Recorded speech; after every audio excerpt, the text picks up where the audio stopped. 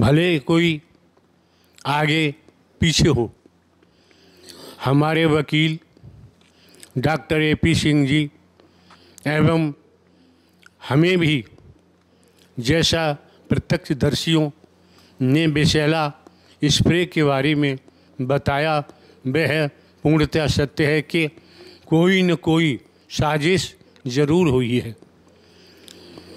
सनातन